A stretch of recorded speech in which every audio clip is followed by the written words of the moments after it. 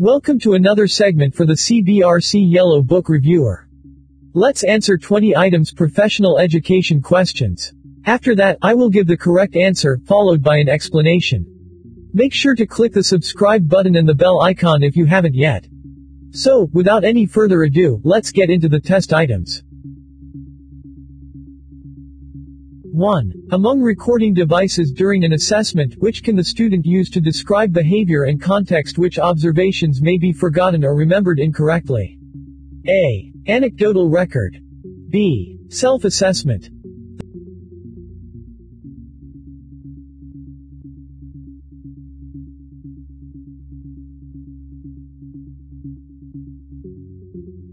The correct answer is A. Anecdotal record. An anecdotal record is a detailed descriptive narrative recorded after a specific behavior or interaction occurs. Anecdotal records inform teachers as they plan learning experiences, provide information to families, and give insights into identifying possible developmental delays. 2. Among written categories of assessment methods, what instruments did science teacher Julian use when she prepared a list of behavior that make up a certain type of performance in the use of a microscope? A. Product rating scale. B. Performance test.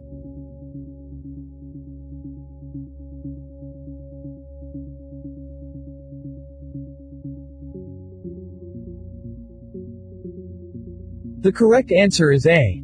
Product rating scale. A rating scale is a tool used for assessing the performance of tasks, skill levels, procedures, processes, qualities, quantities, or end products, such as reports, drawings, and computer programs. In the given situation, the rating scale is the list of behavior comprised of the use of a microscope. 3. What is the criterion reference test designed to determine? A. Performance level on a specific skill. B. Performance on a wide content of the coverage.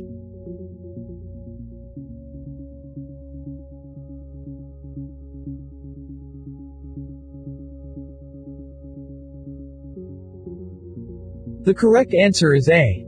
Performance level on a specific skill. A criterion reference test is designed to measure student performance against a fixed set of predetermined criteria or learning standards. That is, concise written descriptions of what students are expected to know and be able to do at a specific stage of their education. 4. Of the types of validity for tests, what reflects the knowledge and skills in the program of studies? A. Curricular validity. B. Criterion validity.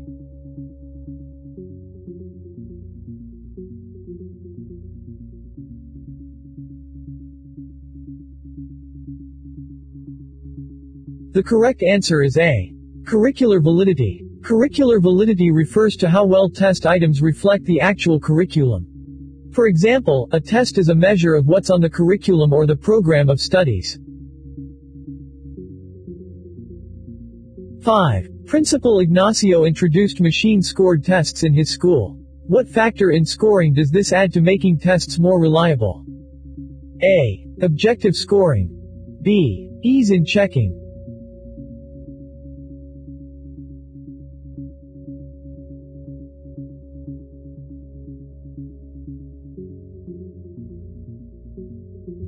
The best answer is A.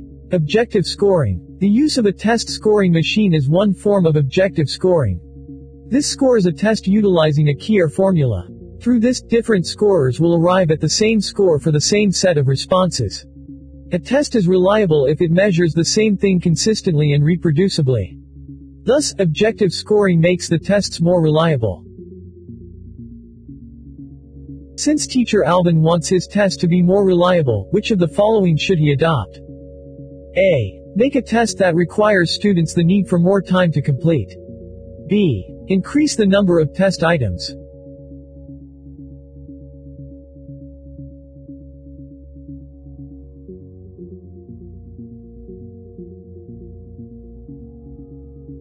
The best answer is B. Increase the number of test items. Using enough questions to assess competence increases the reliability of a test. Although sensible balance is needed to avoid tests being too long, reliability increases with test length. 7. What is the graphic illustration for the relationship between two variables? A. Scatterplot. B. Normal distribution curves.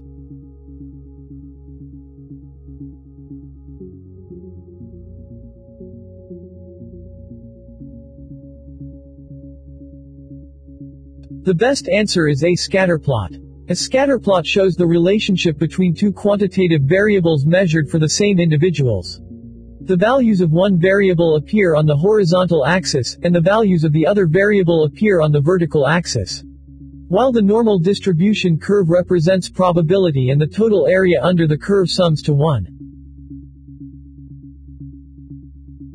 8. In an assessment for problem-based learning, who are responsible for judging student performance?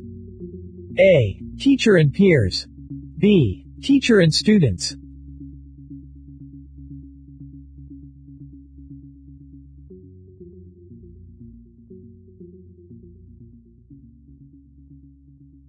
The best answer is B. Teacher and students. Problem-based learning is an approach that challenges students to learn through engagement in a real problem. During an assessment, the instructor helps students monitor the learner's progress, establish criteria for learning and quality work, and help students devise their own goals for improvement. This means that the teacher will not be the only judge of students' work. Students will learn to evaluate the work of other students, as well as their own. 9. What should be the basis of remedial instruction? A. Errors, fallings, and lapses. B. Identified systematic errors by students.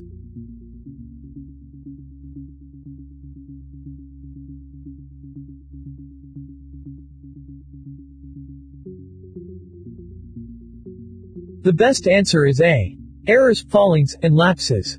Remedial instruction is arranged for students who have temporarily fallen behind in their studies. Remedial instruction is also offered to students in need of special assistance, thus for students having lapsed. Instruction starts immediately after diagnosing a learning disability to help a student to catch up in the studies. 10. Of the approaches to classroom management, which emphasizes the organization and management of students as they engage in academic work. A. Group managerial approach. B. Business academic approach.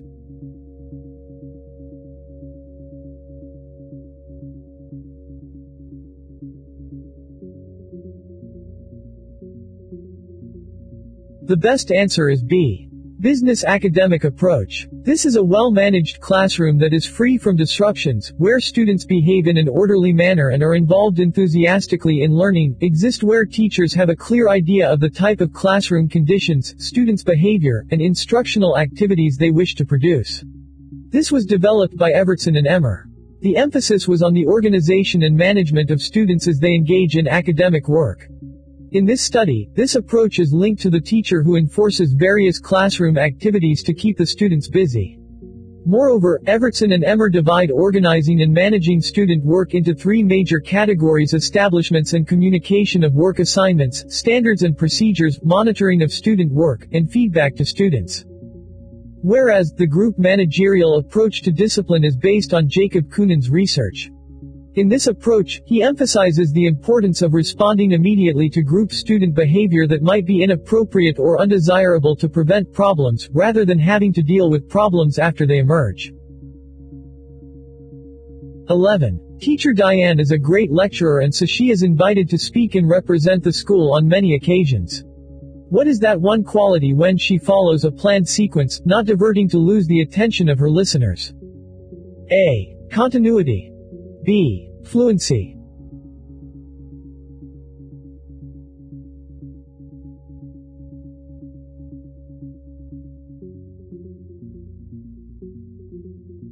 The best answer is A.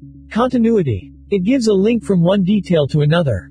It provides listeners and viewers with clear, consistent communication in learning, understanding, and observing functionality.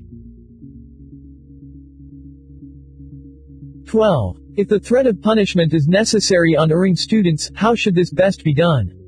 A. Warn and threat at the same time.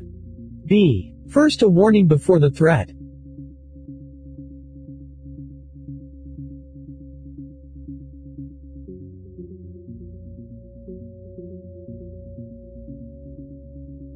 The best answer is B. First a warning before the threat. A warning works best as a first consequence because it's easy to be consistent, it's not personal. It builds trust. It's quick and easy. It's stress-free. And, it makes sense to students. You can read a full article about warning should be the first consequence, link in the description box below. 13. For problems of discipline that cannot be resolved in class, which of the following should not be done as it reduces the authority of the teacher? A. Rely on others to resolve your classroom problems. B. Give students a chance to redeem themselves.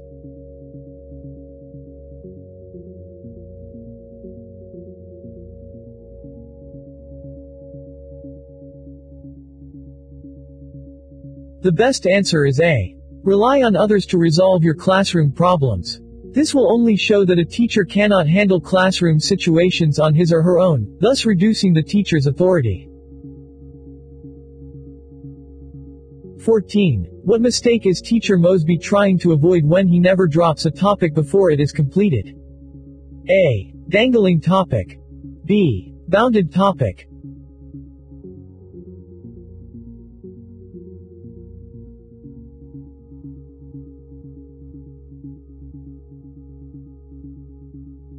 The best answer is A.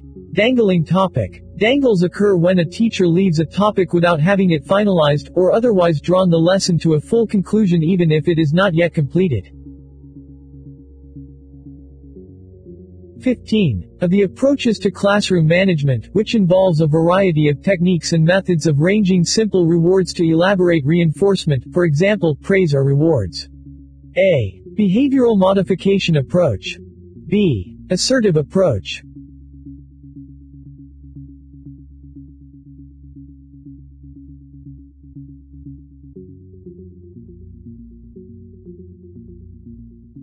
The best answer is A. Behavioral modification approach. 16. To manage behavior, the teacher needs to be able to identify the mistaken goals of students. What is the hidden goal of students who become violent? A. Goal is to get attention. B. Goal is to get revenge.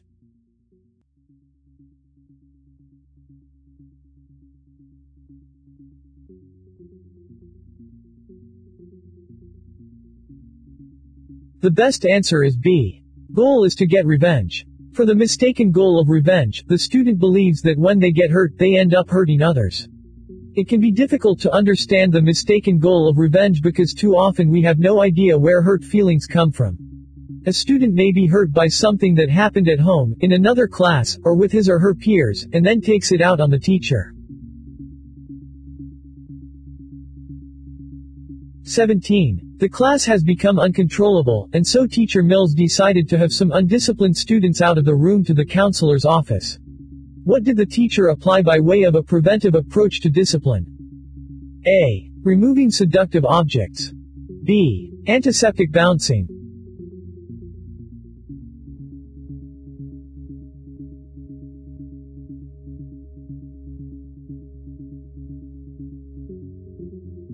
The best answer is B. Antiseptic bouncing. This is to remove the student from the classroom setting as the student is becoming frustrated or agitated before inappropriate behavior occurs. 18. To what problem type do students belong to, who have difficulty due to low potential or lack of readiness rather than motivation to work? A. Underachiever. B. Low achiever.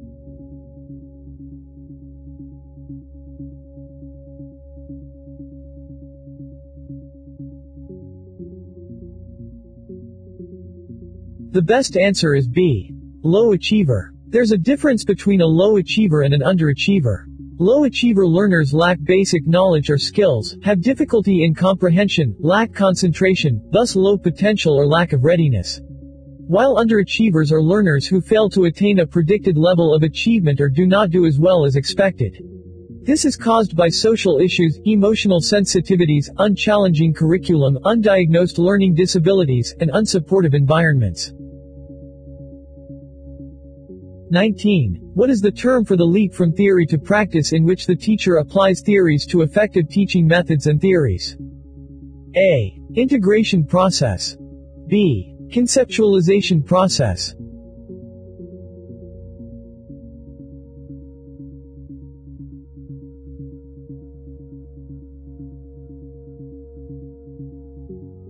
The correct answer is A. Integration process. It refers to a way of connecting skills and knowledge from multiple sources and experiences or applying skills and practice in various settings. It simply means a bridging connection between academic knowledge and practice. 20. Of the teacher movement behavior subcategories, what is happening when the teacher bursts into activities without assessing student readiness and gives orders, statements, or questions that confuse students? A. Truncation. B. Thrust.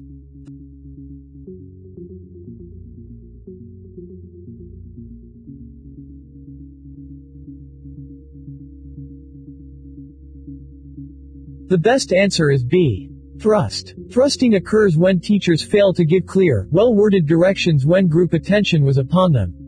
Nondescript directives result in student confusion, complaints, multiple questions as to what to do, conversations with other students, work refusals, and so forth. I hope you get tons of value from this video.